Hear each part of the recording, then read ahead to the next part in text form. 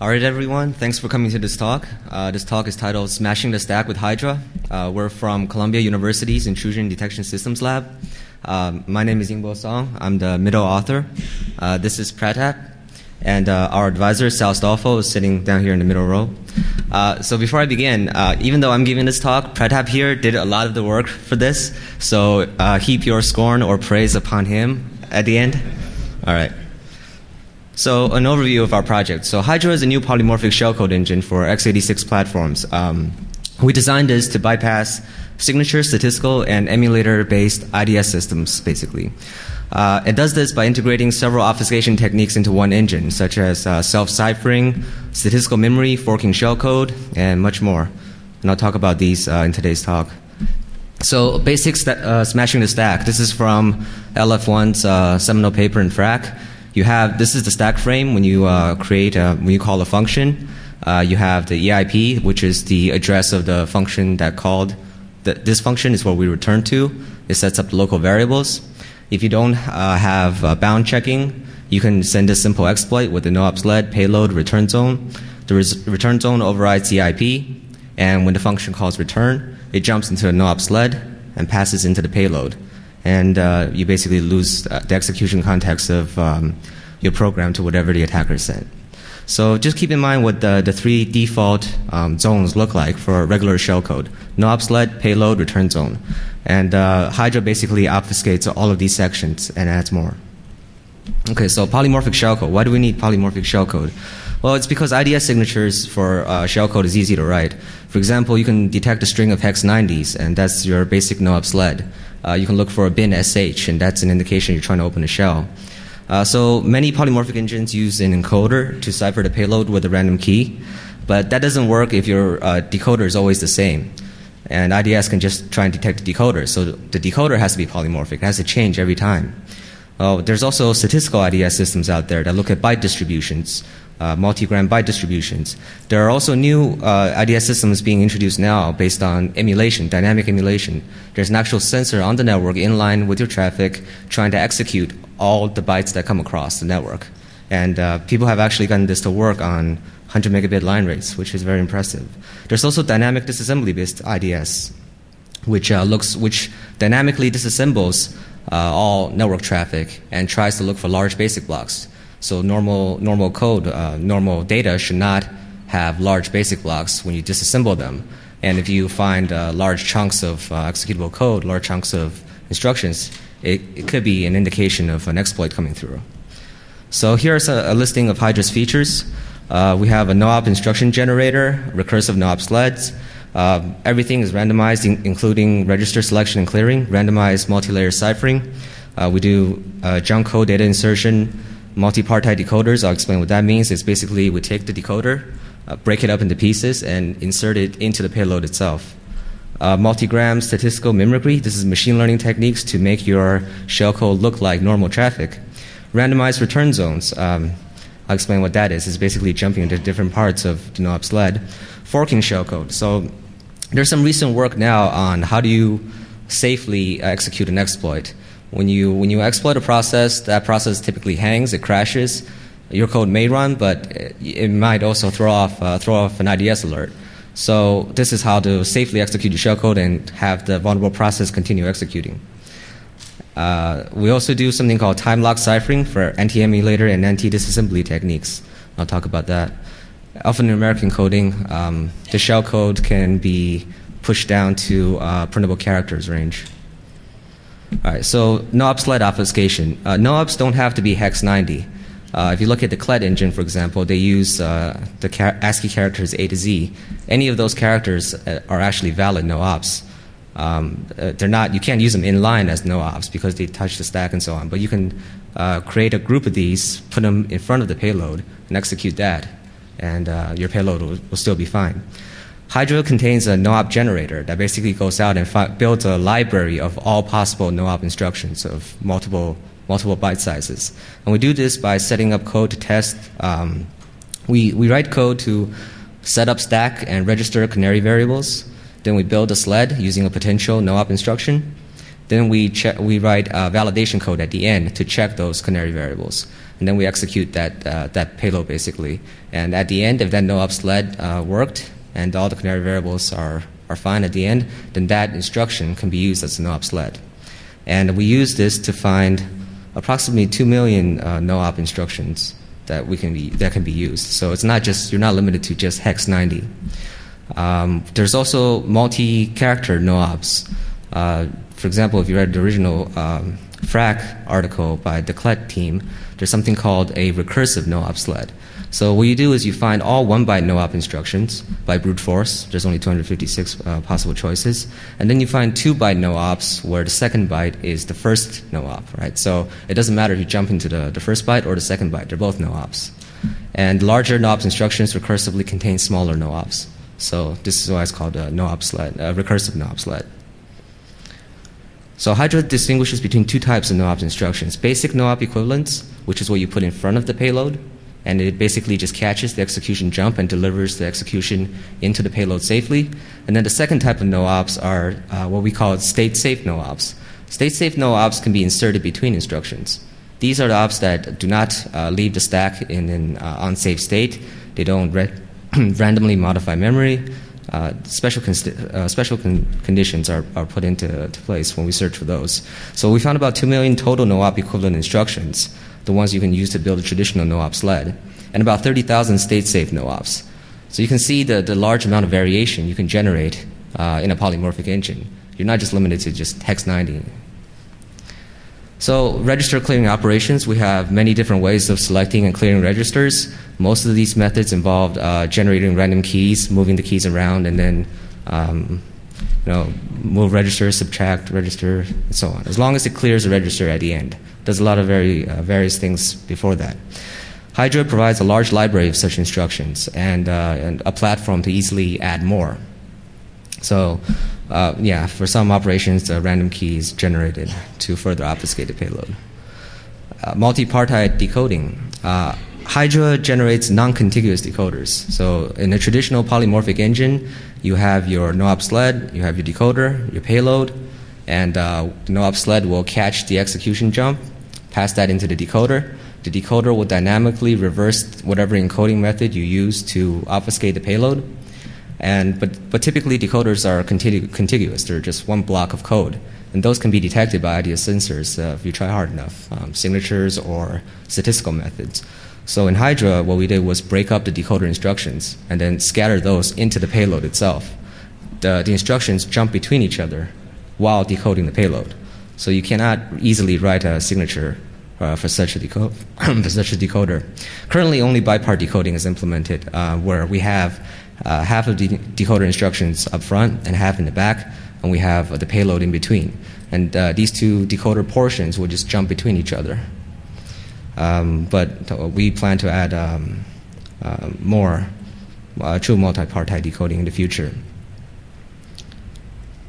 So, multi-layer ciphering. Uh, multi-layer, multi-layer ciphering is pretty much standard these days for shellcode obfuscation. Um, we use CLET, Metasploit, even back to uh, the ADM mutate days, uh, people will just XOR the payload with uh, randomly chosen keys. Uh, even back in the mid 90s, uh, people were using 32 bit keys uh, to do in, encryption on their, on their shellcode payloads.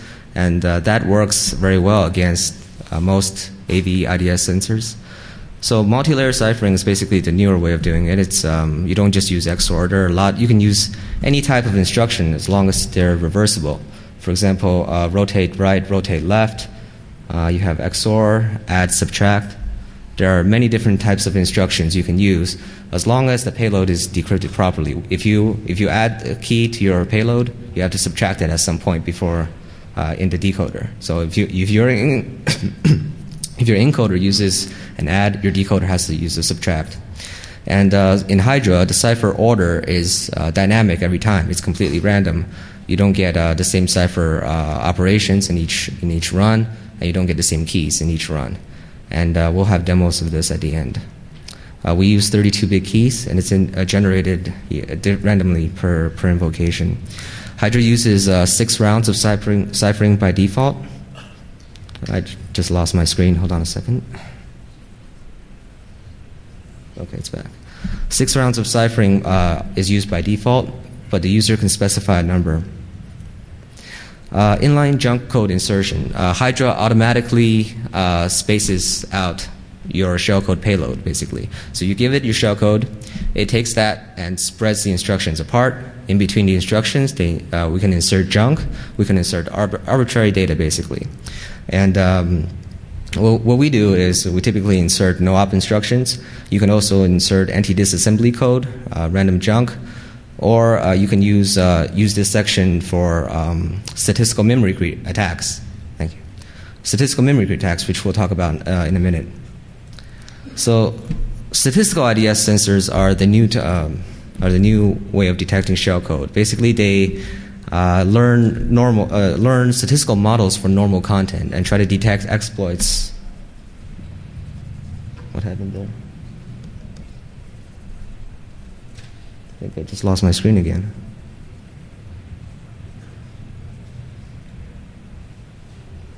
Oh. Okay. Statistical memory. So Hydra actually uses machine learning based techniques to make uh, shellcode look like normal traffic. Uh, Hydra, all you have to do is provide Hydra with uh, instances of normal traffic that you want to mimic, and it will build statistical models uh, for multigram uh, distributions. So, what is, the, what is the frequency of certain uh, character distributions, certain two, char- two byte character distribution, three byte, up to five, seven, and so on. And it will take your shellcode, build a model of it, take normal traffic, build a model of it, and it will tweak your shellcode until the two models look very similar. And it uses machine learning techniques to do that. Unfortunately, I don't have time to explain that, but if uh, you want to uh, know the details of that, just, just find me after, afterwards and I'll point you to some papers. Um, so we do this using Markov chain Monte Carlo. It's basically a machine learning technique to sample, build a distribution, sample from that distribution, and uh, if you recall, we have uh, uh, the junk code insertion feature. When we space out the instructions, we take the statistical memory uh, bytes and put it in those spaced out sections. Uh, ret- randomized return zones. Uh, so the randomized return address zone is basically a sequence of repeated target addresses. They point to the no-op sled. When you write a simple stack exploit, you're hoping that one of these addresses overrides the IP on the stack when the function returns, it jumps into your no-op sled. And uh, the basic way to, to, randomize this zone is to just add random offsets to each of the individual address components. It breaks signatures by um, completely randomizing uh, each component of the address zone. So, emulator-based IDS systems are the new, uh, are the very new, uh, newly introduced techniques this is uh, they, they exist mostly in the academic setting, uh, communities. Um, what you do what you do here is you basically build a stripped down x86 emulator and dynamically execute all all tra- network traffic and look for self decrypting behavior or large basic blocks. And to defeat this, we basically use uh, something called system, uh, syscall based ciphering, where we uh, exploit some type of OS functionality to grab a key, which is used to decode the main cipher operations. So Hydra uses the time syscall.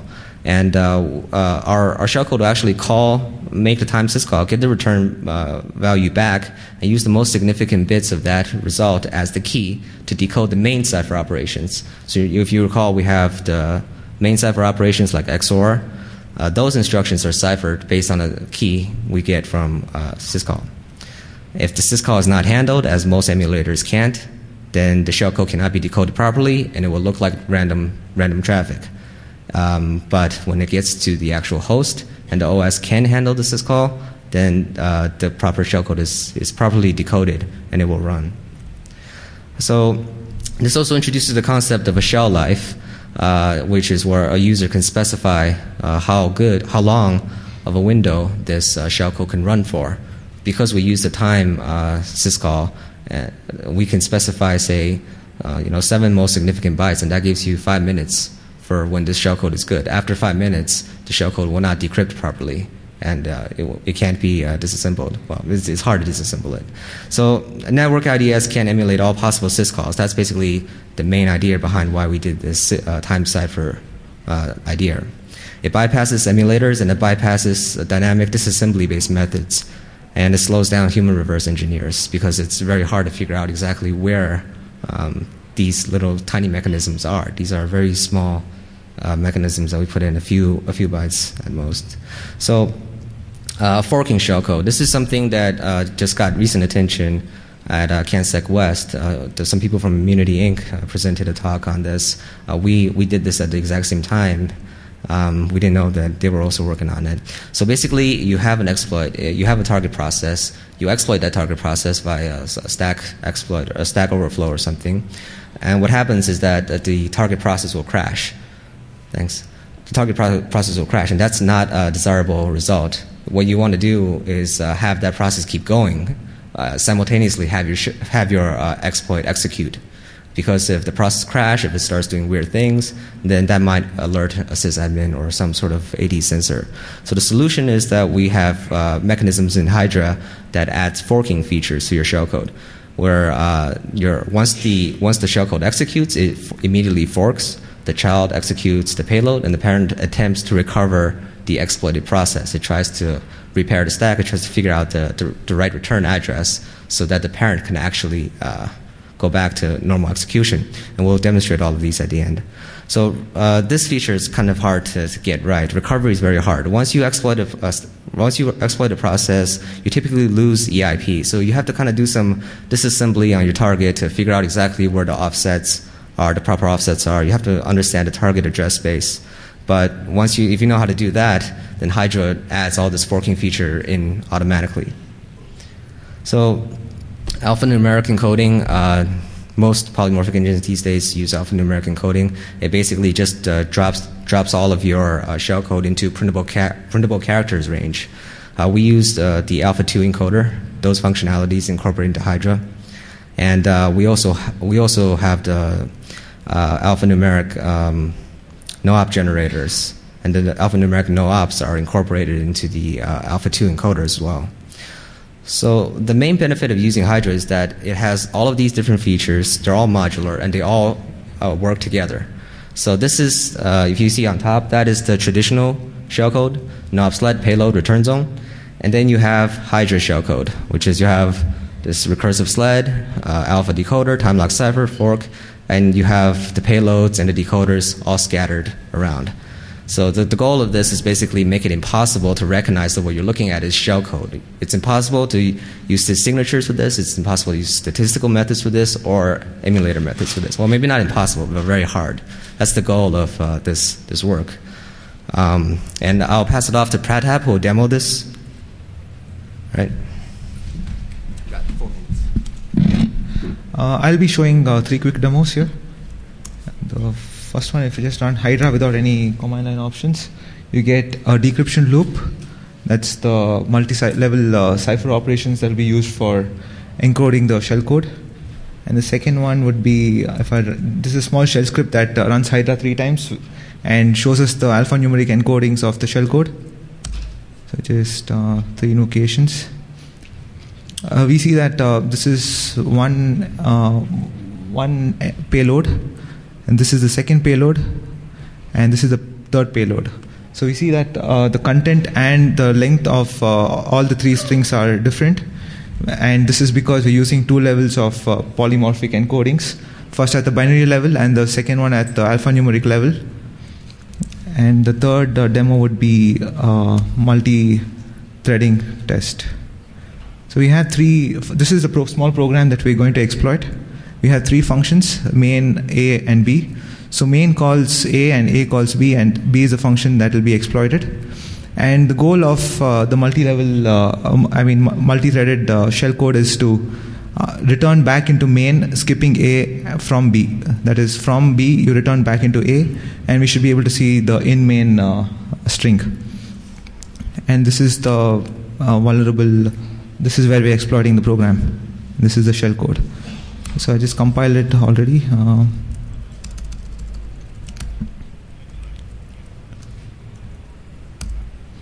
so we see a shell here as well as we come into B, we skip A, and we come into main. The reason why we skip A is because the payload would actually overwrite the EIP of uh, A. So we just have to get the uh, second last EIP, and that's the reason we come into main. And the third uh, test would be the time lock uh, test. I just invoke Hydra minus 7. So minus t tells us, tells Hydra that we need a time uh, locked shellcode, and 7 is a precision, and uh, we get the shellcode here. So we see that the current time is uh, this, and uh, depending on the precision, the time the shellcode expires at this particular time. Uh, we would actually want a higher precision, I think. Let me just invoke it again.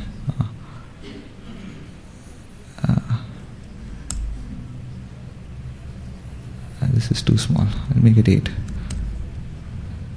Yeah, uh, so the time uh, increases now. Okay. Out of okay. Yeah, so just copy uh, this. Oh, sorry. I don't see the applicant. Okay, just hold on. Yeah. All right. So uh, apparently, this last demo was a bit hard to pull off. Um, yeah, this, the, the resolution is kind of messing up with the. Do you, okay. do you have time? Time test. Let's see this one.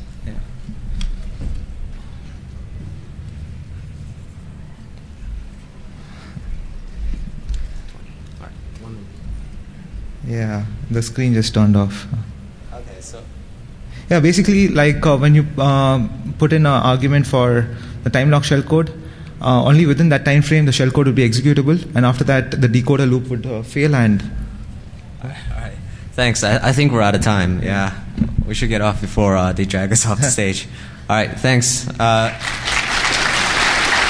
we'll we'll be around uh, if you want more. Uh, if you have any questions or want to see a demo, just find us. We'll be we'll be walking around.